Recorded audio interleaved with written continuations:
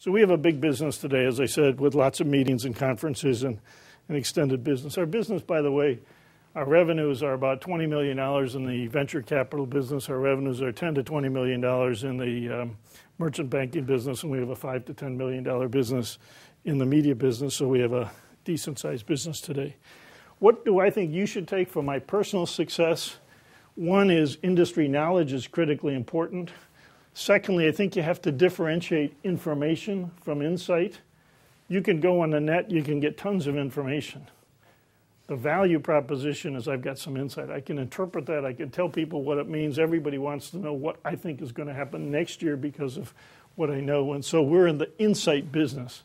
We publish a lot of stuff that's information, but the insight is the value part of it.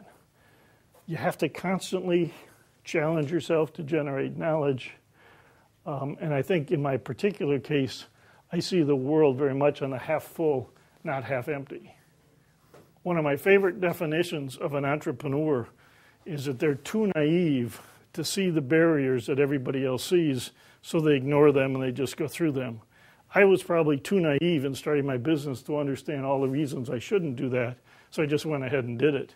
And you deal with the problems as you come along. So I think kind of a healthy um, aggressive attitude towards uh, trying to build something of value as opposed to letting all the people tell you the reasons it won't work is important.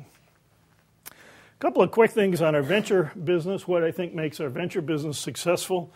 One is that we not only have this industry knowledge, but everybody wants us to look at their deals. So we have a robust inbox. We see something in excess of 100 deals a month. We only invest in less than one of those 100 deals a month, so we have to process a lot of stuff. Um, but we spend most of our time trying to figure out, as a hockey analogy is, not where the puck is, but where the puck is going to be. So the question you're trying to deal with is what are the markets of tomorrow?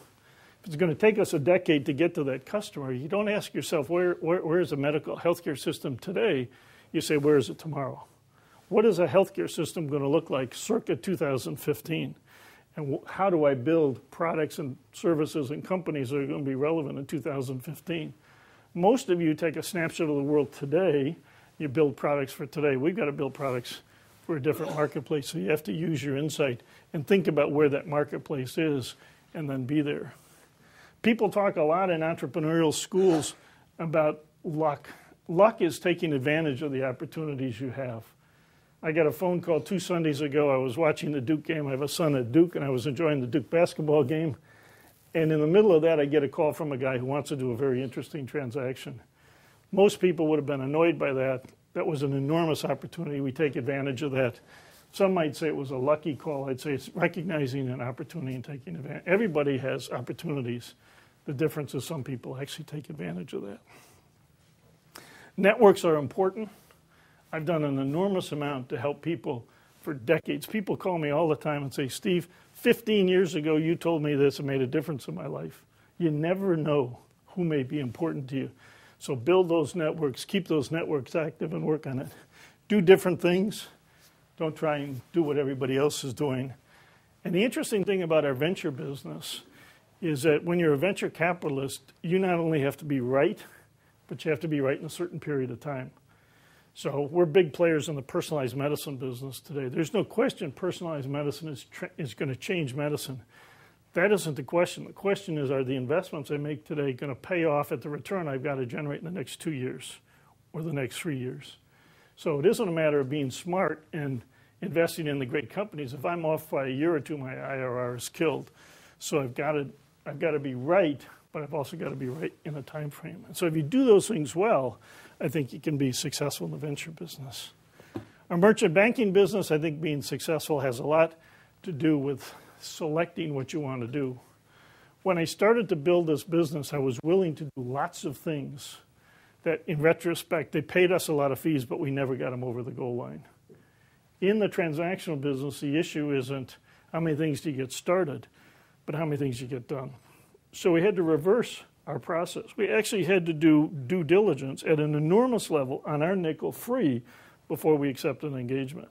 Because when you're trying to do a deal between two companies, what you find out in the last minute, just before the deal gets signed, in your last element of due diligence, that you don't actually have the IP that you, they, you thought they had, or they didn't really finish that clinical trial, or they got some bad data. Now, if you've worked a year on that transaction and you find out about that the day before closing and your deal doesn't happen, you just wasted a year because you got nothing out of it.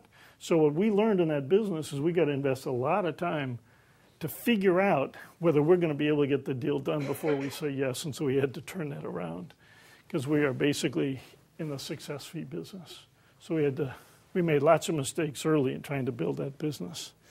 And then finally, in the media business that we have, I think the, the interesting lesson there isn't to try and be just another purveyor of information, but to figure out what it is that you have that is insightful and how to take advantage of that insight. And so everything that we publish, every conference that we have in Burrill, relates to something that's unique and presumably something that's insightful.